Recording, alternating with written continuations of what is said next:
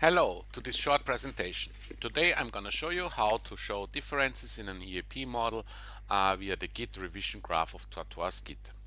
I right click on the model and uh, choose Git revision graph. It can also be that it's hidden in the submenu. In my version it's directly here. Now I click uh, to versions and uh, click on compare revisions. In this case it's an added model so it doesn't make sense to call LemonTree. So let's try something else. For example, these two, compare revisions. You can see the EAP has been modified.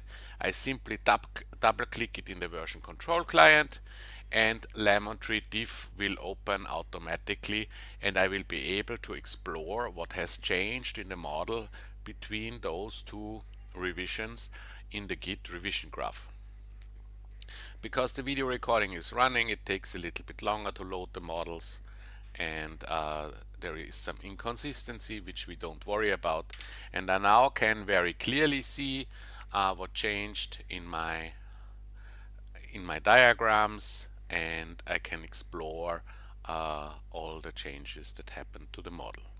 Thank you for listening. This was a quick feature demo. Bye bye.